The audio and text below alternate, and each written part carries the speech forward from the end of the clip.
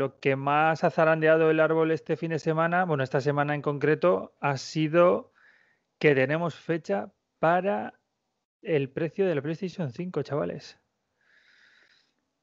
Bueno, pues ya, ya tenían hora de poner un poco de ficha, ¿no? Llevan Microsoft bastantes meses, eh, bueno, meses no, ya estas últimas semanas sobre todo, ha estado moviéndose todo el rato, diciéndonos precios, ha hecho la gran jugada de la Xbox Series X, o sea, Series S, 299, entonces yo creo que ha obligado a Sony, que se está tomando esta generación, la nueva generación, las cosas muy tranquilamente, eh, le ha, obligado a Sony a, venga, tenéis que hacer algo, reaccionar. Es como el meme este de, venga, haz algo, el bicho con el palo. Pues venga, igual, igual, les ha hecho lo mismo, hacer algo. Y yo creo que se han movido por eso, porque yo no sé si en otro momento lo hubiesen hecho antes. ¿Qué dices, Quintan? Eh, pues sí, aquí, bueno, primero aclarar que no han confirmado que vayan a decir el precio, han dicho que es una presentación de juegos, así que crucemos los dedos porque yo creo que todos estamos deseando un poco, ¿no? Ya que tener ya los precios de una vez y, que habrá reservas y que, los que queramos reservar podamos reservar ya. ¿Has dicho dicho queremos reservar? Eh, sí, claro. Yo, por ejemplo, reservaré la consola. Uy, va. ya, yo pensaba que no. Sí, yo la quiero día uno, así que yo la reservaré para intentar, si por lo que sea se agota, intentar tenerla, sea, como sea, ¿no? Que, no se me agote y no me quede sin consola. Y bueno, y, bueno sí, por un lado, sí, eh, no, sé, no sé yo si, si lo tenían pensado ya o no, porque, por ejemplo, Xbox se presentó durante esta semana, pero porque se filtró realmente la fecha real de la presentación de Xbox era para la semana que viene, eh, dicho por el propio Phil Spencer. Así que, no sé, igual tenían planeado los dos eh, hacer las presentaciones más o menos al mismo tiempo, ¿sabes? Entonces, Pero bueno, sí.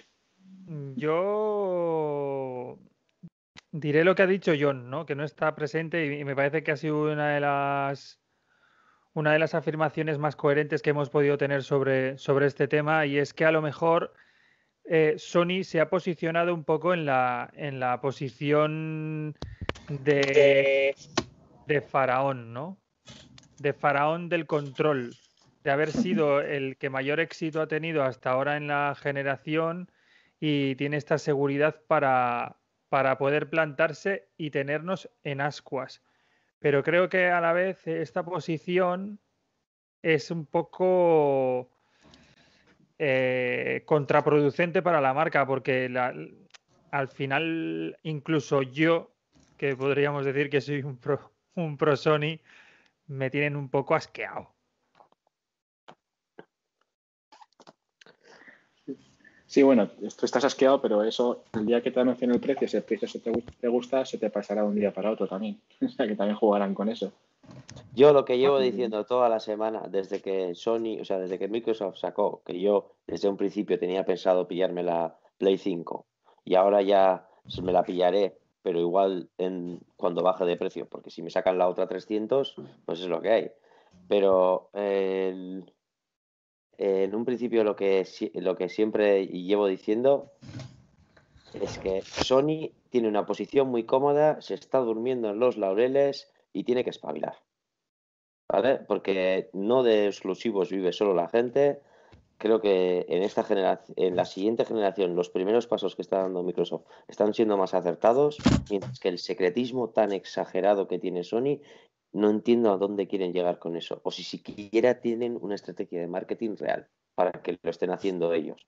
O bueno, a... un poco sobre la marcha. Voy a hacer un pequeño spoiler. Y es que hoy el podcast terminará con un juego. En ese juego vamos a replicar aquí en directo eh, lo mismo que hemos hecho en el grupo. Vamos a hacer nuestras apuestas, precio y pack, porque yo creo que al final va a haber pack yo creo que, Microsoft ha empujado un poco a Sony, o al menos es lo que yo espero. Pues sí, antes de seguir una pequeña pausa, ya que Sorondo está aquí, ya se ha unido con nosotros. Así que muy buenas, Sorondo. Muy buenas noches. Bueno, Sorondo, cuéntanos, ¿tú qué dices? de ¿Qué, nos va a contar Sony? el miércoles? ¿Nos va a dar una alegría o nos va a tener ahí Eh, esperando? Sinceramente, me parece que es un poco hacer de profeta lo que vamos a hacer, porque en vista de lo del mutismo que han tenido hasta ahora, me parece arriesgado decir cosas. No, Bueno, no tengo, pues- no, tengo, no tengo ni idea ahora mismo de, de a ver qué pasa. Bueno, juguemos un poco al precio justo, ¿no? A ver quién se aproxima más. Sí, sí, sí, sí, sí, sí, Hombre, sí. tenemos que hacer un poco de eso también, ¿no? Si no, qué aburrimiento. Al principio del programa hemos propuesto que vamos a hacer una apuesta. Y es que el miércoles puede ser, y no está seguro, PlayStation, Sony, vaya a decirnos cuánto valen sus consolas de salida. Y nosotros vamos a decir cuánto va a costar. Venga, va, yo, yo me lanzo el primero a la piscina. Espera un PS5. segundo. Vale. Espera, espera un segundo. Que lo estoy anotando en el doc. Vale, yo lo único igual que, que igual que cada uno tiene un poco sus motivos, ¿no? De por qué cree que va a costar eso. Ah, me parece genial. Eh, creo que sería interesante. Dime, Rodri. Vale, yo al principio pensaba más lo de la historia de, bueno, se van a bajar los pantalones y van a seguir más como, como Xbox, pero bueno, me voy, a la- me voy a tirar a la piscina y voy a decir, Sony está en una posición de poder y va a decir, aquí pa' chulo, chulo, mi pirulo. Así que 599 euros la PS5. Toma ya. ¿Y la digital?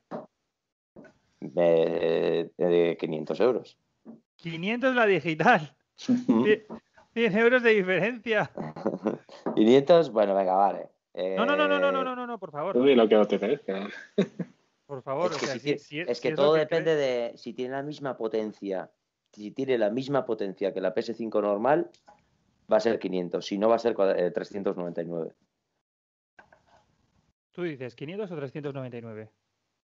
Si tiene la misma potencia, Sí, Son está 500. confirmado. Es lo mismo sin lector. Eso está pues confirmado. entonces te digo 499, punto. 499. Eso es. ¿Quién es el próximo en lanzarse? Pues yo mismo. sí. Vale. Yo digo que la, la sin lector, la All Digital, va a costar 3,99 y la con lector 4,99 y que en esta guerra de, de precios yo estoy con Rodri, creo que PlayStation va a ir a, a lo suyo y sabe que no puede ofrecer tanto por tan poco como Microsoft y va a ir a, a lo suyo, pues, o sea, pues eso, o sea, poniendo el precio que un poco más alto que el de Microsoft, que yo creo que va a ser. Y yo creo que, bueno, que con esta guerra de precios, eh, a los que ganamos somos nosotros. Sorondo, por favor. Eh, vale, a ver. Pues yo inicialmente hubiera dicho también 599, pero yo creo que algo, algo, algo tienen que bajar con lo de, bueno, el anuncio de Microsoft y las tarjetas gráficas, aunque sea un poquito, tampoco mucho, que se note que es Sony, pero... Bueno, a ver. Un precio extraño, 550. Y por otro lado, eh, que de esto no sé si se ha hablado un poco, eh, o si se ha hablado algo siquiera, eh, los discos duros. ¿Habrá alguna diferencia entre una versión y otra? ¿Habrá alguna diferencia? Me refiero, una tendrá, una será de un tera y, y la más económica 250. No, esto ya está confirmado de que son exactamente iguales. Sí, sí. Exactamente la, la- única Está diferencia entre una y otra es que sí. una tiene un lector y el otro no. Sí. O sea, Vale. en Sí. una vas a poder tener juegos en físico y el otro Sí, no. sí, sí, sí, sí, sí, sí. Vale, pues 550 y 500. Porque por un lector no, no, que el precio varíe mucho sería algo bastante loco. ¿Qué nos dices, Quintan? Vale, pues eh, bueno, yo pensaba que iba a ser de los caros, ¿eh? pero parece que no. Eh, bueno, yo me voy a basar en, un rumor que hubo hace meses que parece que iba bastante bien encaminado de que, bueno, se, bas- se basaba en el coste de los materiales, el BOM de, las consolas, y decían que Xbox estaba pues cerca de los 500 euros, un poco por debajo, y este mismo rumor decía que la PS5 era un poco más cara de fabricar para Sony. Entonces, como yo creo que este número ha ido bastante bien, creo que la Play 5 va a ser un poquito más cara que la Xbox, ya que creo que Microsoft eh, va a pérdidas y que ha ajustado todo lo que ha podido. Entonces, yo a la PS5 lo voy a poner unos 530 euros, un poquito por encima de, la Xbox. Y la All Digital, eh, no sé, yo creo que restate 50 euros ya es bastante, pero creo que se me va a intentar ajustarlo, o le pondré 450. Y creo que me estoy pasando de bajada porque, por ejemplo, la Xbox One S actual hay versión con lector y sin lector y la diferencia es de 50 euros. Entonces, bajar más de eso creo que, que las empresas no harán mucho porque un lector a una empresa le costará 15 20 euros como máximo. Entonces, eh, pues diré 450 la All Digital y 530 con lector. Pues bueno, eso lo quedo yo. Yo creo que la PlayStation 5 normal va a valer 4.99 y que la All Digital va a valer 3.50. Pero es que además creo que van a ajustar de alguna forma el, el, PS Now. Y espérate que el All Digital no sea más competitivo. Bueno, interesante. La verdad es que a mí me gustaría, desde luego, que cuanto más se acerque a lo que es actualmente el Game Pass, pues más ganamos todos, ¿no? Todos los jugadores. Yo creo que es el, el gran gol. Está muy lejos el PS Now del Game Pass todavía, pero, pero bueno, puede ser el momento de, empezar a meter ahí unos exclusivos juegos de salida. Sería la clave que Sony se lance y, y saque juegos de salida en el PS Now, como si lo hace Microsoft. Veremos. De todas formas, no desesperéis. Puede ser que el miércoles no nos digan cuánto vale la PlayStation 5.